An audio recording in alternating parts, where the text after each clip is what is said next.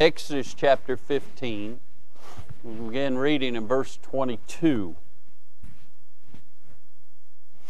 The Bible says So Moses brought Israel from the Red Sea. They went out into the wilderness of Shur. And they went three days in the wilderness and found no water. I'm glad our young people found some water down there in Georgia. Mm-mm.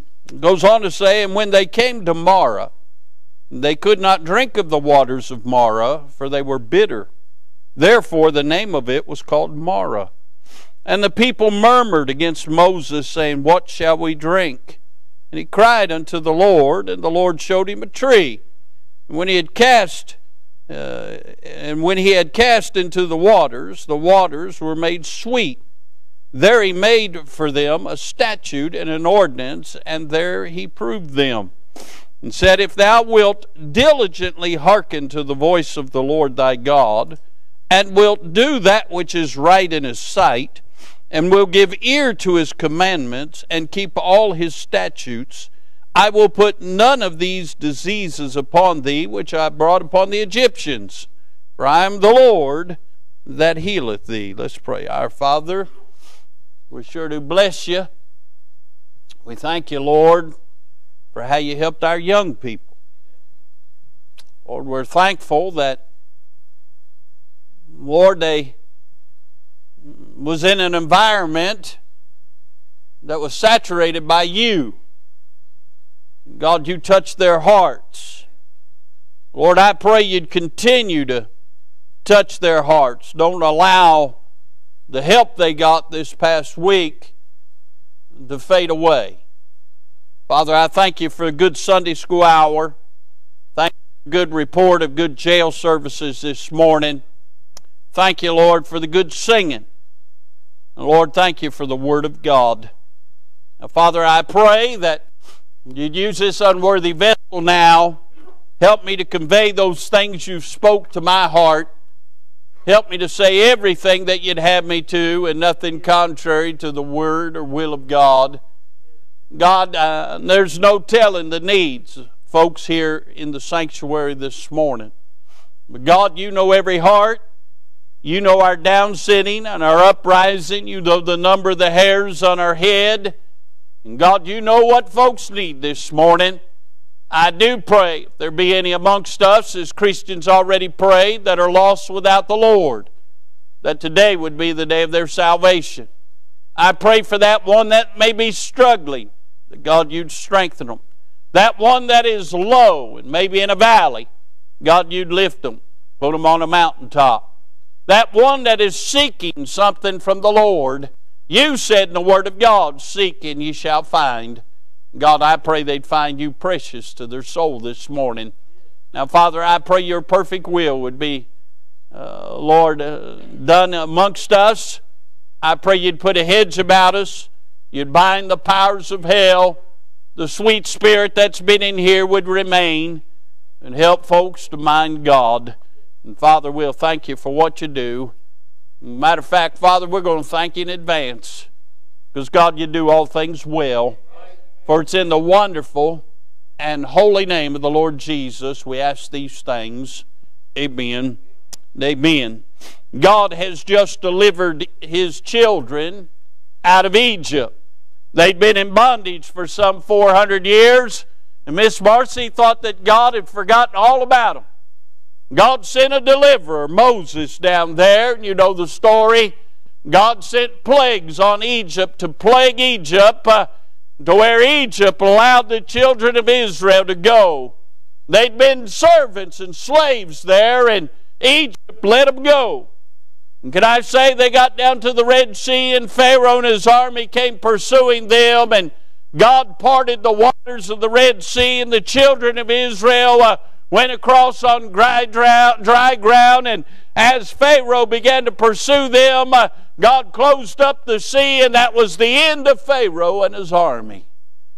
Well, here in this text, we find that for three days they've been journeying in the wilderness. Do you ever feel like you was uh, going somewhere, but you didn't know where you was going? You didn't know why you was a going?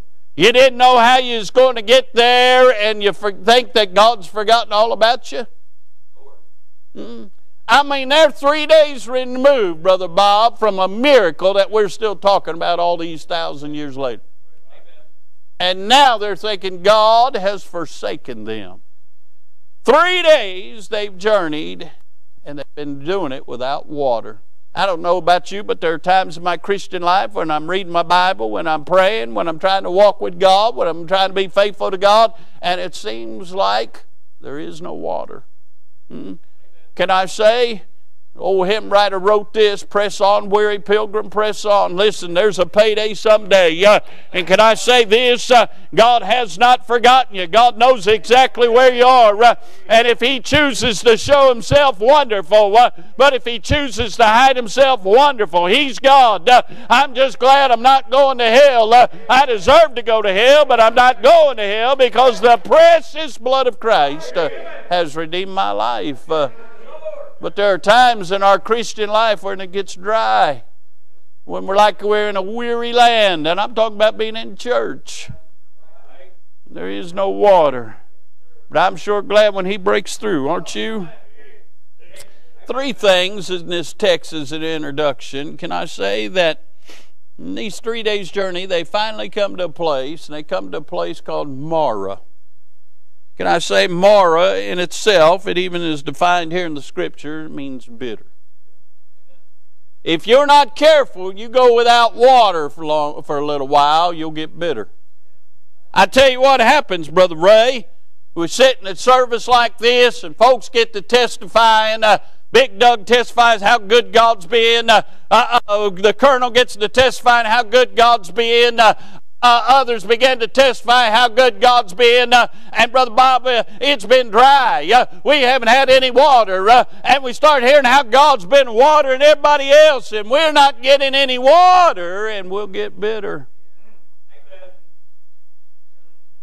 Could I say, all you have to do to get bitter is start looking around.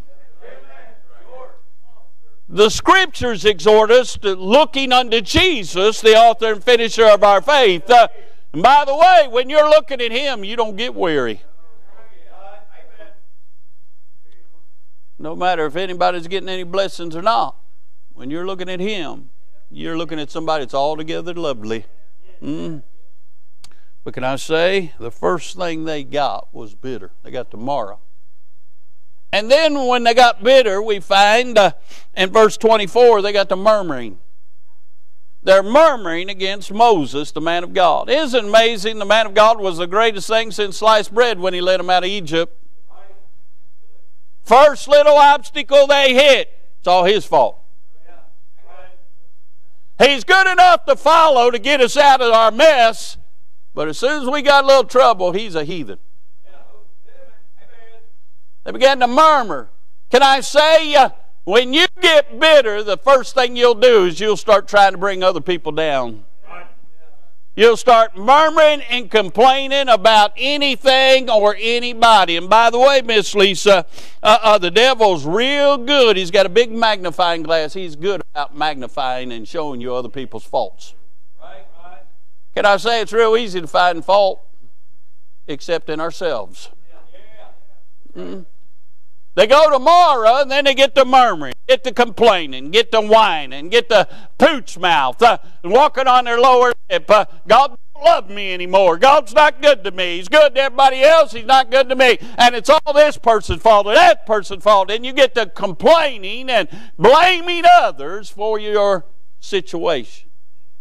Brother Ron, it's called a victim mentality. Woe is me, woe is me, I'm a victim, I'm a victim, I'm a victim. You ought to be in hell. They should have still been in Egypt getting their backs broke making bricks. God delivered them, but that wasn't good enough. Hmm? Uh, we want God to deliver us and then us to never have any troubles or any trials or any hardships or heartaches. We want a, a, a golden path to the golden streets. It just don't work that way. The Bible says, Yea, all they that live godly shall suffer persecution. Can I say the Bible says that man's days are few and full of trouble? Can I say that the Bible said, Jesus said, that a prophet's not without honor save in his own country? Uh, can I say there's always somebody going to be looking at you, always somebody going to be talking about you? Uh, but listen, uh, uh, uh they talked about Jesus and they crucified him. Uh, we ought to be thankful that we're not hanging on a cross somewhere. But we're not. Lexi, I appreciate your testimony. We are ungrateful. We're spoiled, rotten children of the Lord. Can I say, Brother Joseph, most people didn't give a second thought about coming to church this morning. They knew the air conditioner would be on. They knew the pews would be padded. They knew that the lights would be on. They knew that people would be here. They knew that uh, uh, somebody would sing. They knew that the preacher would have a message. They didn't give a second thought to that. You know, it's only by the grace of God we're here. And that boy named Dawson that somebody referred to, I think it was Xander, somebody referred to, or no, it was Aiden referred to that boy named Dawson. His preacher's family and his family's own one in church said everybody keeps leaving. He was praying for his church. It's only by the grace of God Ichabod it stamped on this place. You say that, it never happened. Talk to Brother Clint Howe. They tell you about 25 years ago, they was about ready to close the doors. Got down to a handful. Hmm? Say, what happened? People got their eyes off of Jesus. People took for granted there'd always be a church. Hmm? Can I say there are places all over this, this tri state area that used to be a house of God. Today they're museums or they're boarded up. Say, why? God isn't good? Oh, God's good all the time. I don't know if I get to the message or not. Uh, can I say they went to Marah? They got bitter. Then they got to murmuring. But praise God, we find a miracle. Uh, look with me, if you will, verse number 25. And he cried unto the Lord Moses, and the Lord showed him a tree, which when he had cast in the waters, the waters were made sweet there he made for them a statute and an ordinance, and there he proved them. He saw a tree, cast it in the waters, and the bitterness was made sweet, changed their lives. Going to preach with God's help for a minute on this thought the tree that will save your life. Now, God didn't tell us what kind of tree. Can I say uh, that might be uh, designed in the providential will of God because if it would have been a fir tree, we'd think only a fir tree could help us, huh? or if it had been an oak tree or an elm tree. Uh, but it was just a tree. Uh, can I say the power wasn't in the tree, the power was in God. Uh, power was in obedience to Moses to do what God said. Uh, and God brought a miracle. Uh, and friend, there's a tree that can save your life. Uh, you may have come in today uh, and your life's in a mess. You may have came in today and you're bitter. You may have came in today and your heart broke. you may have came in today thinking there is no way. but I've got good news. God's got a tree that will save your life.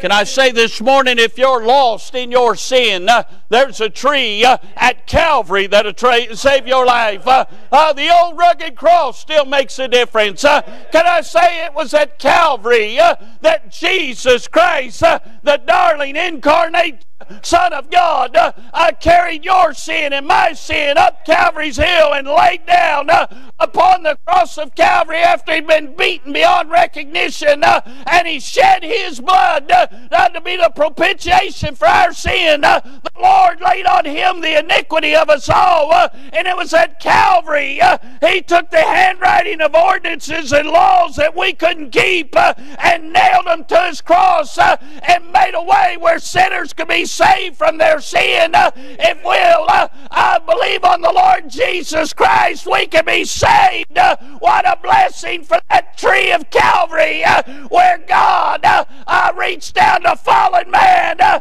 and he suspended between heaven and earth, made a way for sinners to be saved from their sins. Uh, can I say the tree of Calvary has saved your life? It did mine 49 years ago. Uh, for 10 and a half years, I listened to my granddaddy preach about Calvary.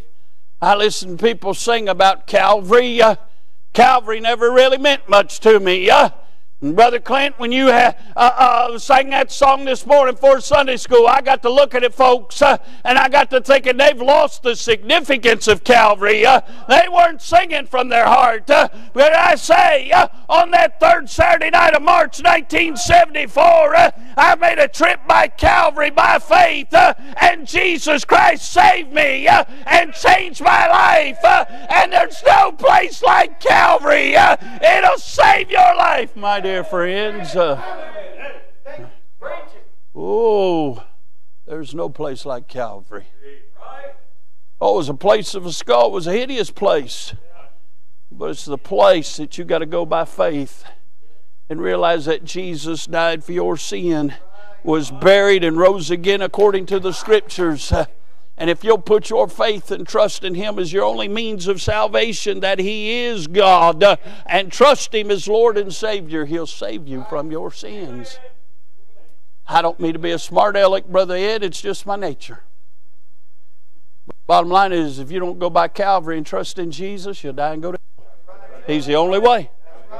Mm. Jesus said, I am the way, the truth, and the life. No man cometh unto the Father but by me. The tree of Calvary has saved your life. But you might be here today and you might be saved. But you're going through some things. God's got a tree that'll save your life. Can I say there's the tree of commitment that might just save your life? There's a lot of folks that have trust issues. Just can't trust. I, I get it. Brother Rod, I, I get that man will disappoint you. Man will let you down. You can put your confidence in a man uh, and things go well for a while, but that man may be the one that turns and breaks your heart. Hmm? But I know one. He'll never break your heart. His name is Jesus. He is faithful and true. He is a friend that sticketh closer than a brother. And can I say you can trust him? Uh, you can have trust issues with people, uh, but you ought to never have a trust issue with Him. Uh, you ought to, by faith, uh, just believe Him and walk after Him and walk with Him and talk with Him and put your confidence in the Lord Jesus Christ. Uh, you know why some of you struggle in life? You don't have any commitment to the Lord.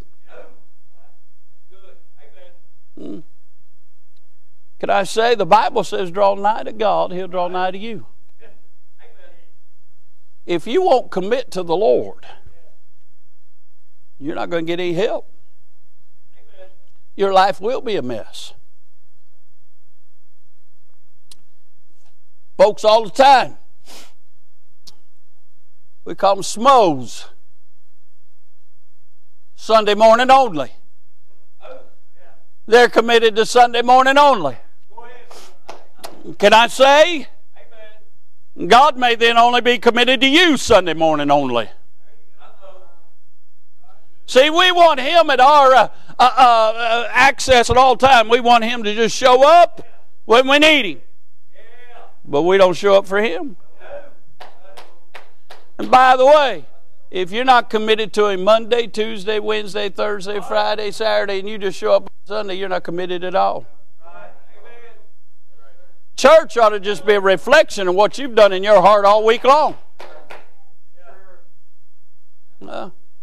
There are folks don't read the Bible, don't pray, mm, don't give God of the first fruits of what God's blessed them with. Folks that don't uh, walk with the Lord, don't have a song in their heart with the Lord, uh, they show up, they expect the preacher to bring the Lord to them.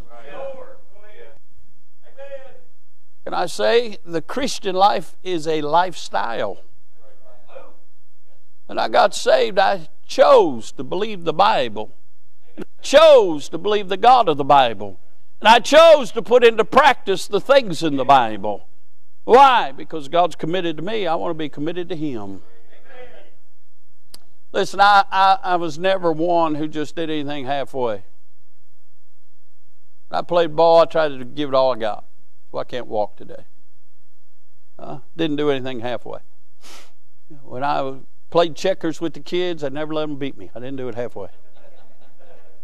Uh, when I eat ice cream cone, I don't eat it halfway and throw it away. No, I get the whole thing and I'm licking my fingers. You know what I'm saying? The greatest thing that ever happened to me is when Jesus saved me. Why would I go halfway with Him? I'm going all the way to glory because of Him, but the trip, I want to go all in with Him. Commitment will be a tree that will change your life. Hmm? Uh, you say, well, I act like Brother Phil. You might act worse. I don't know. But it'll be worth it if you get committed.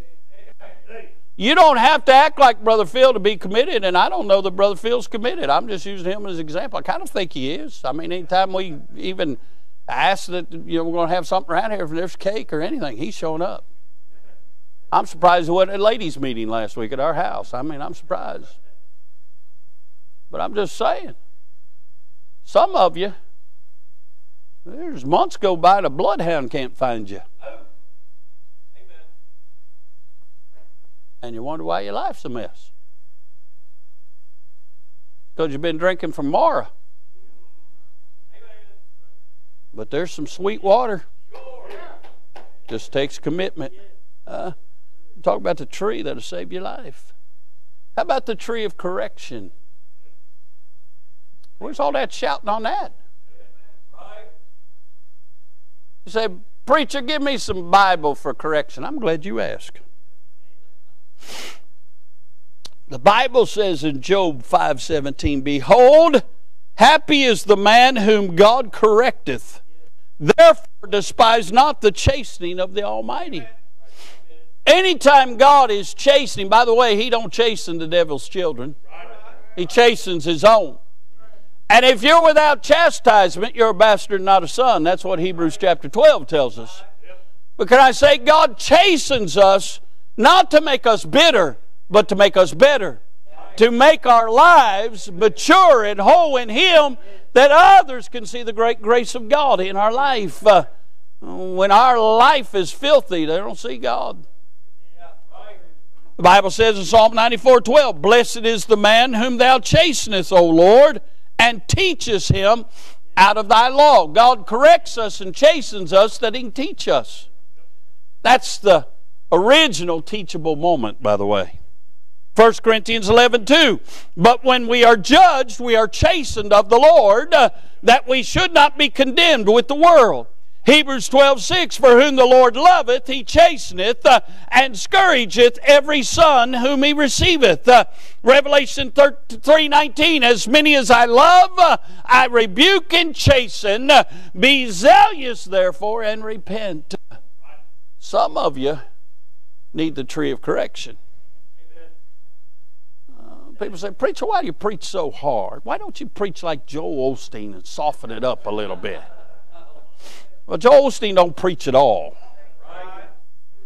He don't even call himself a preacher. He calls himself a speaker. And can I say, I cringe when I go to places and people pray for the speaker. I'm looking around thinking, who are they talking about? Mm-hmm. God called me to preach. Mm-hmm. Didn't call me to speak. Because I can't even speak good hillbilly, let alone anything else. But can I say, God corrects his children, and some of you need to be corrected. And the reason I preach so hard is number one, I preach what God gives me. Sometimes we get to preach on heaven. Sometimes we get to rebuke. Sometimes we get to exhort. Uh, uh, but we uh, preach doctrine, all long suffering and doctrine. Why? Because that's the will of God, my dear friends. Uh, I know this. Sin will keep me from this book, but this book will keep me from sin. Can I say, preaching this book keeps me from sin? Uh, I enjoy going to meetings where I'm not preaching, where I get to sit so I can be preached to. Because I don't know about you, but I need the rough edges knocked off me sometimes. Uh, And can I say this, Brother Bob? And I appreciate Brother Bob. I'm going to embarrass him right now. When I preach them hard messages that all of you can't wait to get past me on the way out, Brother Bob always hugs my neck and thanks me for loving the congregation so much that I preach that hard, don't you? You do that every time. Huh? But but listen, I don't like preaching those hard messages. I'd rather preach heaven all the time. But if we don't keep the rough edges knocked off, we get hard, we get bitter, we get nasty, and we're not doing the will of God. You know what correction does? It humbles us. Did you see them kids up there today?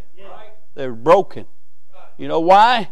They've been around a place where they've heard some preaching. The Spirit of God's been working on their hearts, been showing them a lot of things they've been investing their lives in. Doesn't matter. Hmm? That's what preaching does. Uh, some of you need the tree of correction. We don't like it. Huh? Oh, it's, getting, it's heavy in here right now. Let me go pick on my favorite little picking buddy. Do you like getting in trouble? Getting in trouble ain't the problem. Getting caught's the problem, isn't it? Huh? Your mom shows no mercy, doesn't she? Not really. Yeah, I know. Right now, and I know you love your mama. I know that. But when you get in trouble right now and she's rough on you, you really don't enjoy that. But when you get grown, you're going to look back and you're going to thank God you had a mama that loved you and that corrected you, that kept you in church.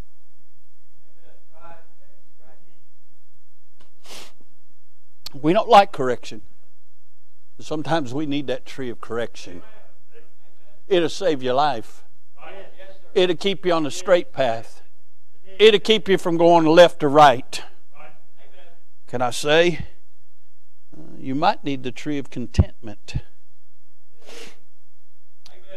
What happens with a lot of people, they sit in church and they hear preaching and they hear singing and they hear it so much and they don't open their heart to it. Their heart gets hard and preaching and singing bounces off of them. They get to looking in the world for contentment. If I had a swimming pool, I'd be content. If I had a boat, I'd be content. If I had this, I'd be content. If I had that, mine is if, if I had just another watch. You know what I'm saying? Some of you got that. I got more watches than I got sense. Can I say Solomon experienced it all, saw it all, and in the end, in a bitter spirit, he said, Vanity, vanity, it's all vanity. Hmm? You'll never find contentment in the world. The fellow with the bumper sticker says, He who has the most toys wins is a liar. Hmm? He who has God wins. Godliness with contentment is great gain. There's nothing better than being in the will of God and having the peace of God. And some of you have been seeking contentment in other places than Him. You'll never find it. Can I say that rabbit hole just keeps going and going and going? The devil keep whetting your appetite for something else. Now let me say this: there's nothing wrong with having things. There's nothing wrong with having money.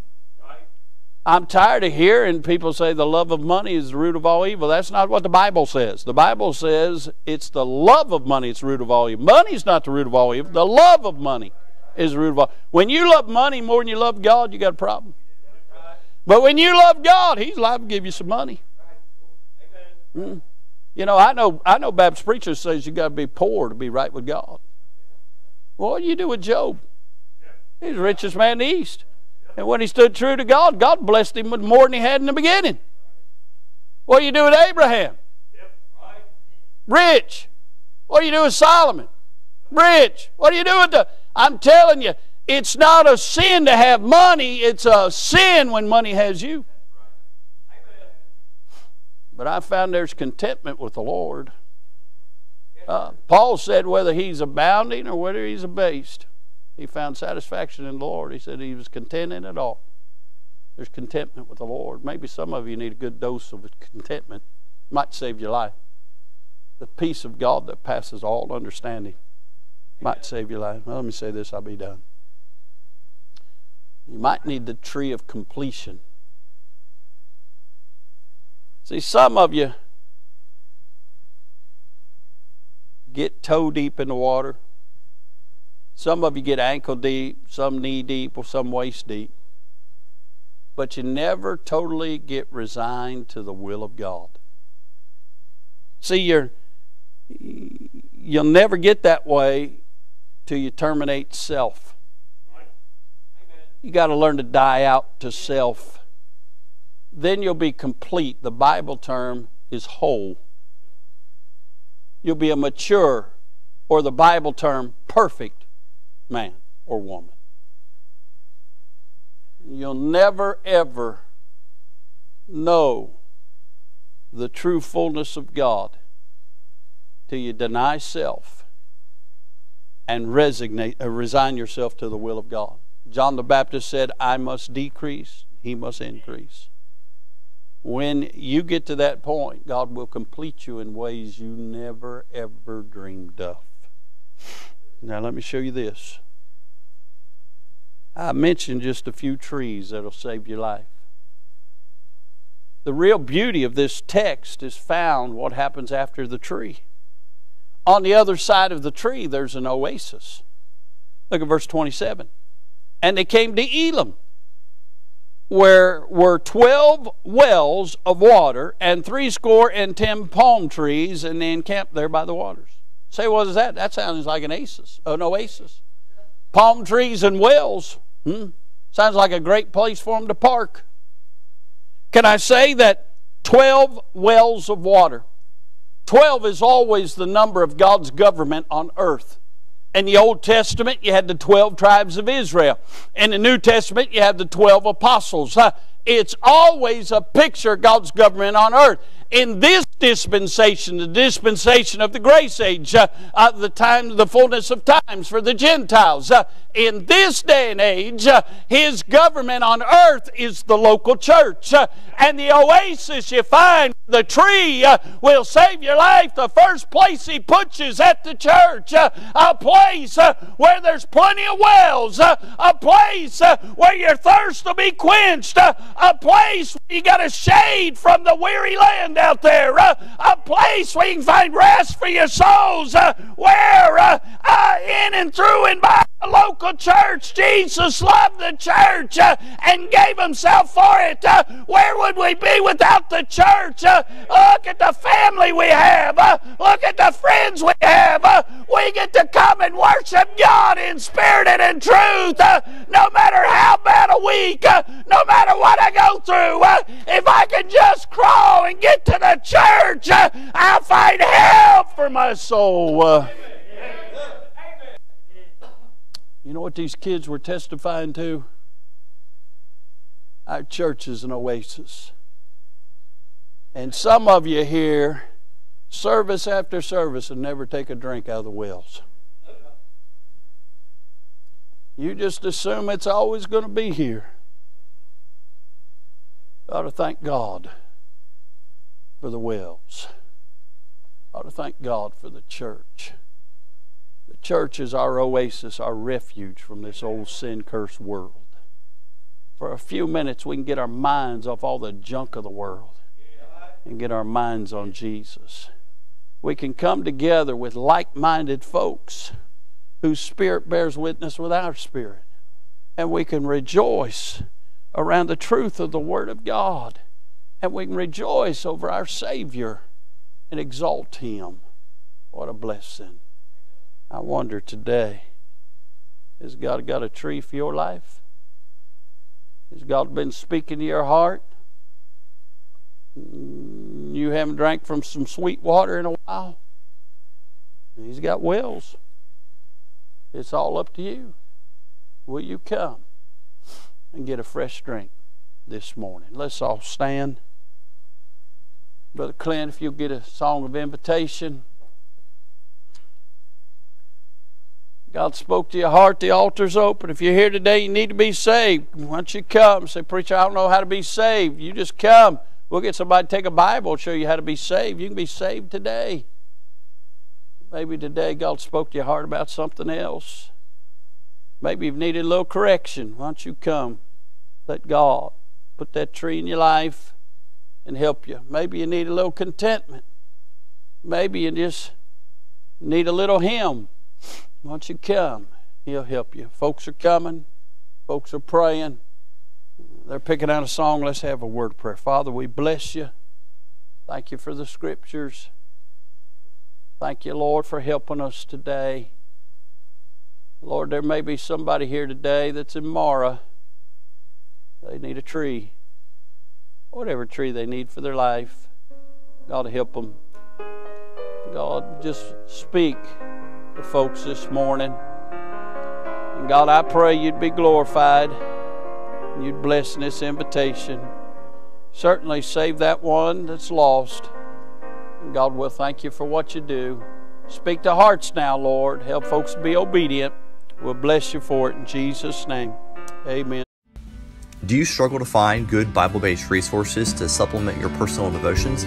If so, head on over to ibcflorence.com today and click on Bookstore, where we have a ton of resources. And as always, thanks for listening.